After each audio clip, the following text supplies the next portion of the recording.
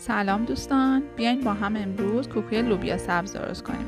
درست کردن این کوکو خیلی راحته و چون پر از سبزیجاته خیلی هم مقویه. با من همراه باشین.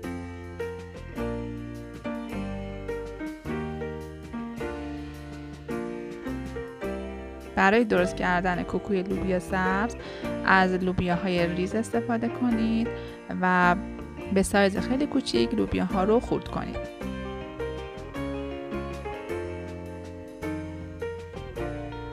هویج و سیب زمینی رو نگینی ریز خورد می‌کنیم. و لوبیاها و هویج رو اجازه میدیم که کاملا پخته بشه.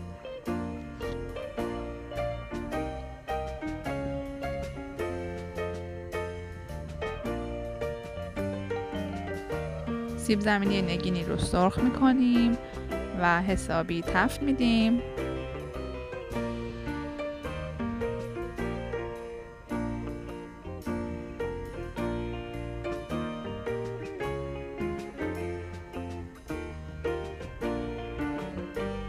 لوبیا همون که پخت تو آب سرد میریزیم بلانچش می‌کنیم و با کمی روغن تفتش میدیم.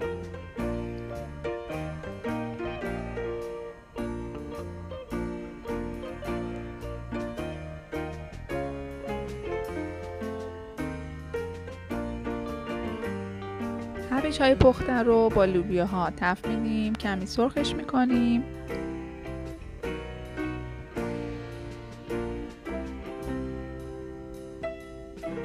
این کوکور رنگ خیلی قشنگی داره. ترکیب هویج و سیب زمینی و لوبیا سبز. بعد اینکه موادمون سرخ شد و کمی خنک شد مواد رو با هم ترکیب می‌کنیم. حالا نوبت اضافه کردن ادویه هاست. دارچین پودر گل سرخ فلفل نمک اضافه می‌کنیم. مهمترین ادویه این کوکو دارچین هستش. نمک رو میریزیم. یک قاشق آرد اضافه می‌کنیم و زعفرون آب کرده. تخم مرغ ها رو اضافه می‌کنیم.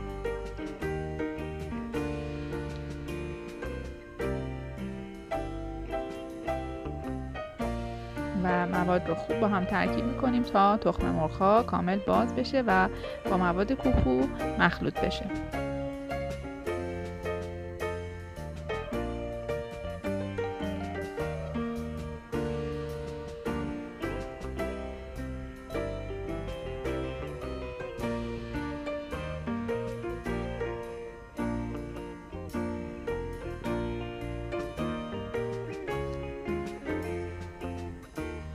روغن رو داغ می‌کنیم و مواد کوکو رو تو روغن داغ میریزیم تا خودش رو بگیره و کوکومون صف بشه.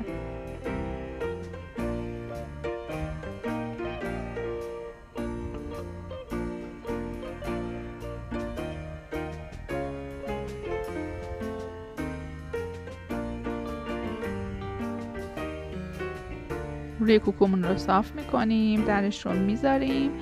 و شعله رو کم می‌کنیم تا یه طرف کوکو کاملا برشته بشه.